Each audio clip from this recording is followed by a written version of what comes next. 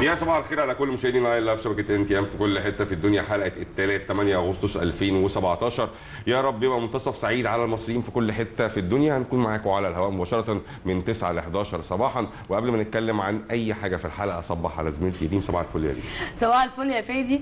آه طبعا فادي قال كل حاجة بسرعة بسرعة بسرعة. صباح الفل على كل السادة المشاهدين. النهارده هنكون معاكم مع ساعتين على الهواء مباشرة على شبكة NTN. عندنا مجموعة كبيرة جدا من الفقرات نتمنى إن أنتم تعجبوا بيها النهارده. آه تعالوا مع بعض نشوف عرض اليوم.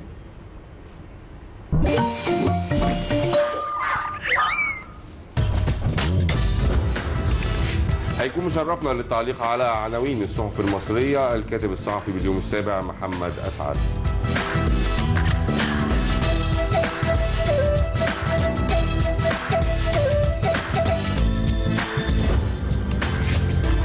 وفي فقرة عرض كتاب الكاتبة عز سلطان المجموعة القصصية تماما كما يحدث في السينما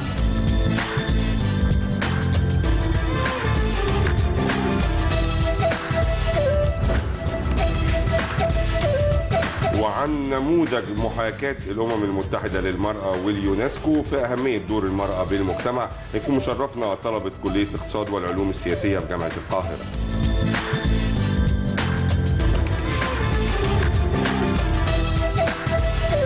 الكاتبة الصحفية منى الكيال مؤسسة مبادرة هتقدري للتوعية والدعم النفسي للمرأة.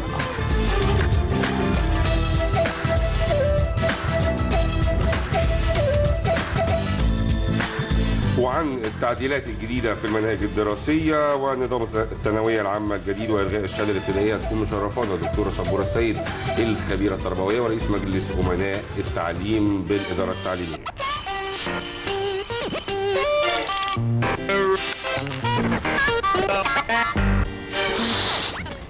الحقيقة كان عندي تعليق ظريف جدا وأنا جاية الصبح. الهوا دايما أنا متعودة إنه في ساعة معينة كده في المحور بتبقى زحمة جدا ولكن النهارده لما نزلت آه، أنا بقالي كتير ما بنزلش في وسط الأسبوع عشان بيبقى أيام الجمعة السبت فلقيت إن الشوارع فاضية.